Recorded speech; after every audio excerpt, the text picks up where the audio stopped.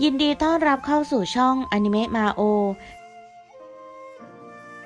หากนับเรื่องความแข็งแกร่งเพียงอย่างเดียวเสี่ยวเฉวเหนือชั้นกว่าเฉินเซี่ยง แต่ตอนนี้เสี่ยวเฉวกำลังถูกเฉินเซี่ยงหยอกล้อและดูเหมือนบนใบหน้าของมันจะมีรอยเหมือนแมวข่วนอยู่ ฉากที่เห็นอยู่นี้น่าขบขันอย่างยิ่ง ผู้ชมมากมายต่างส่งเสียงหัวเราะกันยกใหญ่ เฉินเซี่ยงข้าจะฆ่าเจ้า เสี่ยวเฉวโกรธแค้นเฉินเซี่ยงโดยสมบูรณ์แล้ว ร่างกายน้อยๆของมันเริ่มสั่นเทาก่อนจะระเบิดปราณไร้ลักจำนวนมากเข้าใส่เฉินเซี่ยง เฉินเซี่ยงตกใจเป็นอย่างมากเขารีบใช้ปราการเต่าทมินในทันที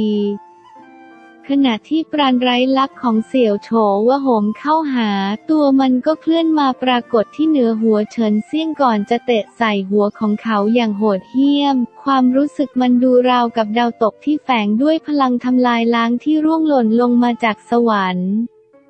หากไม่มีข่ายพลังกลางไว้ปราณต้านหลีที่เสี่ยวเฉวปลดปล่อยออกมาคงทำลายอีกทั่วทั้งลานกว้างไปแล้ว และเมื่อยามที่มันเตะกวาดไปลานกว้างคงได้พังพินาศแน่ แรงกดดันที่เสี่ยวเฉวปลดปล่อยออกมาทำให้เข่าของเฉินเซี่ยงอเล็กน้อยราวกับมีภูเขาทั้งลูกกดทับเขาอยู่ แต่ถึงอย่างนั้นแรงกดดันนั้นกินเวลาเพียงชั่วครู่เพราะลูกเตะของเสี่ยวเฉวตรงเข้ามาอย่างรวดเร็ว เกิดการระเบิดอย่างรุนแรงพร้อมกับคลื่นสั่นสะเทือนที่ทรงพลังและไม่ธรรมดา เฉินเซี่ยงรู้สึกเลือดลมปั่นป่วนจนเกือบจะทำให้เขากระอักโลหิตออกมา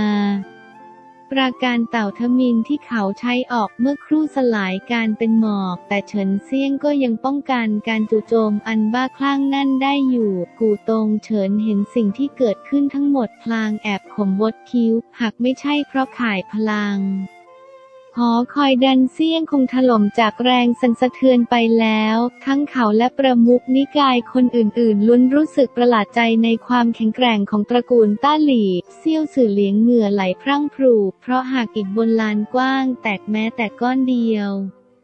มันต้องจ่ายหนึ่งหมื่นล้านผลึกศิลาให้กับดันเซี่ยงเถาหยวน แต่เดิมเซี่ยวสื่อเหลียงได้พิจารณาถึงความแข็งแกร่งของเสี่ยวเฉวแล้ว หากมันทรงพลังมากๆ และกลายเป็นนักสู้ขอบเขตนิพพาน เสี่ยวเฉวย่อมน่าสะพรึงกลัวกว่านี้มาก ตอนนี้มันตระหนักแล้วว่าเหตุใดตระกูลต้าหลี่ถึงได้มีชื่อเสียงในแดนสวรรค์นัก และนั่นก็เพราะพวกมันมีพลังอำนาจทั่วร่างของเฉินเซี่ยงมืนชาจากการจู่โจมของเสี่ยวเฉวแต่นับว่าโชคดีที่ร่างกายของเฉินเซี่ยงแข็งแกร่งมากอีกทั้งเขายังมีเกราะเต่าทมินอยู่กับตัว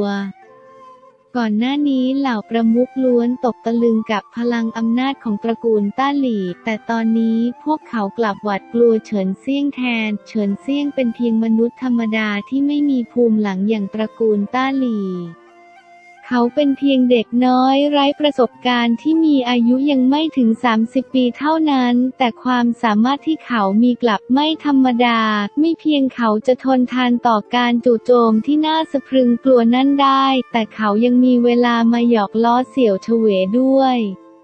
หลังจากที่เสี่ยวเฉวปลดปล่อยพลังที่น่าสะพรึงกลัวออกมาแล้ว มันยังเห็นโอกาสที่จะจู่โจมอย่างต่อเนื่องก่อนมันจะส่งลูกเตะลงมาจากท้องฟ้า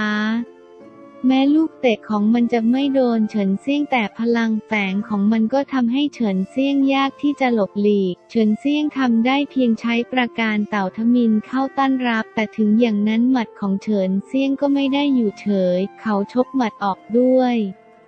มัดศักดิ์สิทธิ์พยักขาว และปลดปล่อยปราณสังหารอันน่าสะพรึงกลัวจากทักษะ สังหารใจ เข้ายับยั้งแรงกดดันวิญญาณที่แฝงมากับลูกเตะของเสี่ยวเฉว ใช้ลมหายใจปีศาจ มันจะเข้าแช่แข็งความคิดของเสี่ยวเฉวทำให้มันรู้สึกราวกับว่าจมอยู่ในโลกแห่งน้ำแข็งและหิมะ ทันใดนั้นเป่ยอยู่ๆก็กล่าวขึ้น น้ำเสียงอันเย็นชาของนางปลุกความคิดของเฉินเซี่ยง ประกายความเฉลียวฉลาดปรากฏขึ้นในดวงตาของเฉินเซียง เขาแอบถ่ายลมหายใจปีศาจไปกับพายุหมัดของเขา พลังอันลึกลับของเขาปิดซ่อนได้อย่างมิดชิด เพราะมันเป็นการจู่โจมทางจิตวิญญาณ หากศัตรูตกอยู่ในอำนาจของลมหายใจปีศาจเป็นเวลานาน จิตใจของมันผู้นั้นจะรู้สึกเหน็บหนาวสุดขั้ว ลมหายใจปีศาจคือทักษะปีศาจที่สามารถแช่แข็งจิตวิญญาณของผู้คนได้ ฉินเซี่ยงไม่ค่อยได้ใช้ทักษะเหล่านี้ เพราะเป่ยอยู่ๆไม่อนุญาต เขาไม่กล้าใช้มันต่อหน้าผู้คนมากมายเช่นนี้ เสี่ยวเฉวจู่โจมตอบโต้หมัดศักดิ์สิทธิ์พยักขาวของเฉินเซี่ยงอย่างต่อเนื่อง มันค่อนข้างพึงพอใจที่สามารถทำลายหัวพยักที่ส่งออกมาจากหมัดของเฉินเซียงได้ มันเย้ยหยันการจู่โจมของเฉินเซียง แต่ตัวมันเองก็ถูกปกคลุมด้วยปราณสังหารของเฉินเซียง มันรู้สึกหวาดกลัวเล็กน้อยมันรู้สึกเหมือนเฉินเซียงเป็นเทพเจ้าสังหารที่กำลังจะถูกปลุกให้ตื่นขึ้น ทั้งสองฝ่ายต่างกระหน่ำพายุหมัดอันทรงพลังเข้าใส่กันอย่างต่อเนื่อง คลื่นปราณที่เกิดจากการประทะของทั้งคู่ทำให้ข่ายพลังสั่นไหวทั้งแรงสั่นสะเทือนยังคงไหลผ่านลงพื้นอย่างต่อเนื่อง แม้แรงอำนาจของหมัดศักดิ์สิทธิ์พยักขาวจะทรงพลังจนน่าตกใจ แต่มันยังพ่ายให้กับหมัดของเสี่ยวเฉวที่ใช้ออกด้วยปราณต้านหลีจนทำให้เฉินเซียงต้องถอยกรูดอย่างต่อเนื่อง นี่ย่อมชัดเจนว่าปราณของเฉินเซียงนั้นอ่อนด้อยกว่าเสี่ยวเฉวมาก หากปะทะกันซึ่งหน้า แต่ถึงอย่างนั้นกลับไม่มีผู้ใดพบลมหายใจปีศาจอันเบาบางที่แฝงไปกับหมัดของเฉินเซียง เมื่อลมหายใจปีศาจซึมผ่านเข้าไปในร่างกายของเสี่ยวเฉว มันไม่ได้เข้าไปทำให้เสี่ยวเฉวบาดเจ็บ ดังนั้นมันจึงถูกเมิน นั่นทำให้ลมหายใจปีศาจเข้าไปสะสมในร่างกายของเสี่ยวเวอย่างช้าๆในตอนแรกเสี่ยวเวไม่ได้รู้สึกอะไร แต่ผ่านไปไม่นานมันเริ่มรู้สึกเย็นเยือกเล็กน้อย แต่มันเพียงเดาว่าเฉินเซี่ยงใช้ปราณน้ำแข็งในการจู่โจม ซึ่งทำให้มันได้สนใจกับความรู้สึกนี้เลย ในความคิดของเสี่ยวเฉวมันไม่จำเป็นต้องหวาดกลัวกับความเย็นเช่นนี้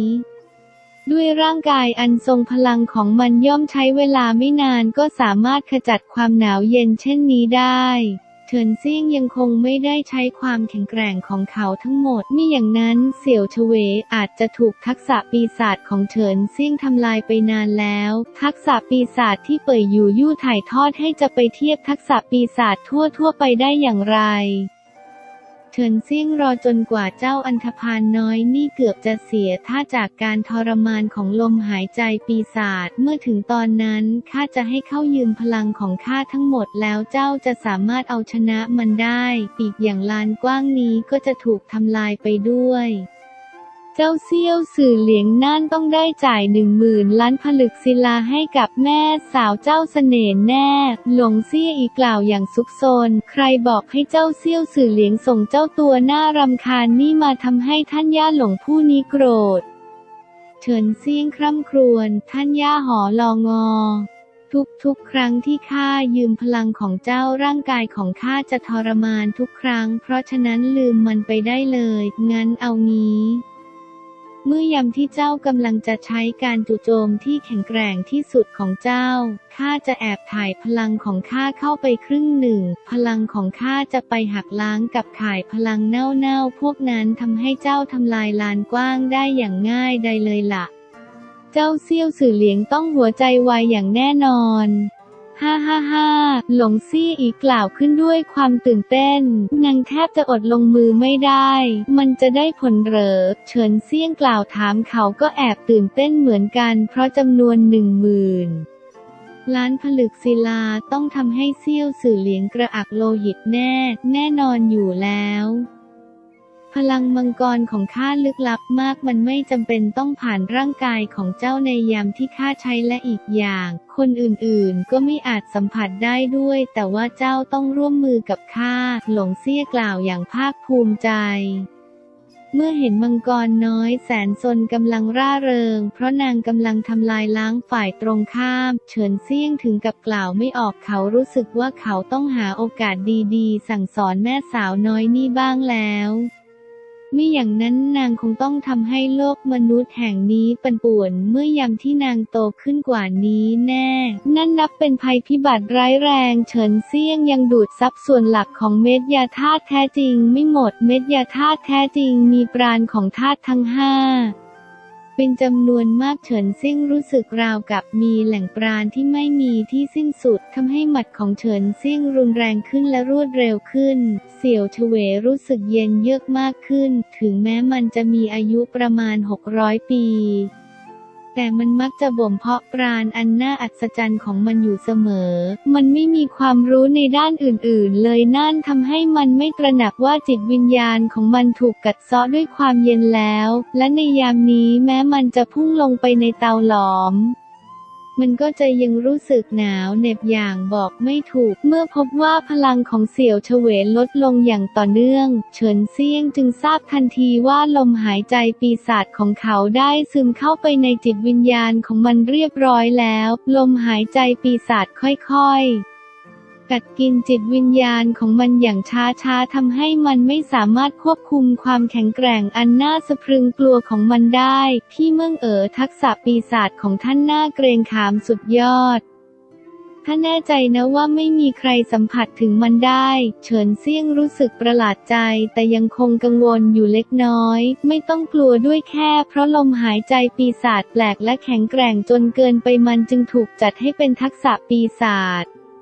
รัศมีที่มันแผ่ออกมาไม่ได้ชั่วร้าย แต่แค่นิกายฝ่ายธรรมะไม่ยอมให้ใช้มันเหมือนกับทักษะ ปีศาจกลืนกิน นั่นแหละเป่ยอยู่อยู่กล่าวอย่างไม่ใส่ใจนางรู้สึกมีความสุขเล็กน้อยที่เฉินเซี่ยงชื่นชมทักษะปีศาจของนางแต่ถึงอย่างนั้นเฉินเซี่ยงกลับไม่ค่อยมีโอกาสได้ใช้พวกมันในที่สาธารณะ อย่าลืมติดตามรับชมในตอนหน้านะคะ